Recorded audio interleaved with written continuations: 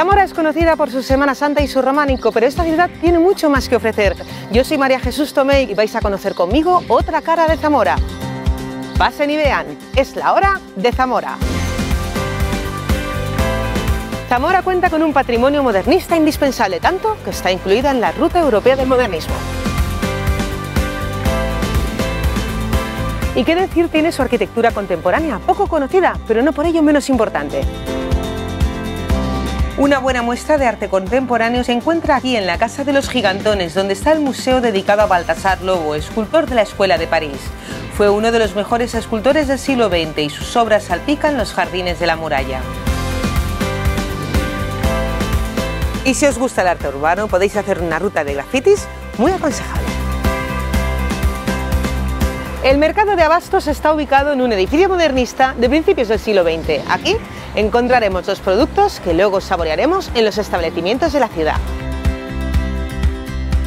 Aparte de restaurantes de comida tradicional y bares de pinchos, en Zamora hay gastrobares, donde la alta cocina se transforma en tapas de autor.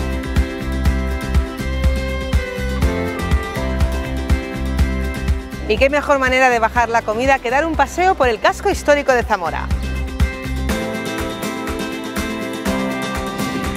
Y los tapices del Museo de la Catedral son maravillosos. Otros museos fuera de ruta son el etnográfico y el provincial, donde se encuentra otra joya zamorana, el tesoro de orfebrería Cieltíbero.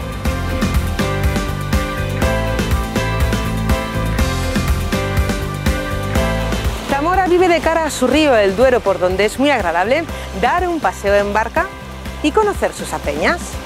Estos ingenios hidráulicos tenían la misma función que los molinos, triturar el grano.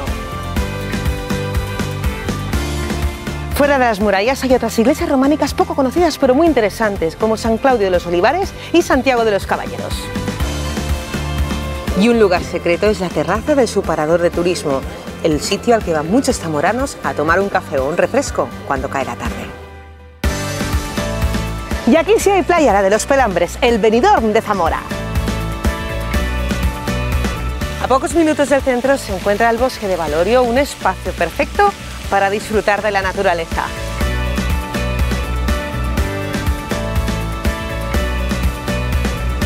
En Zamora hay alojamientos de todo tipo, incluso un parking para autocaravanas. Y desde el Mirador del Troncoso y con estas vistas al Duero nos despedimos. ¡Hasta otra!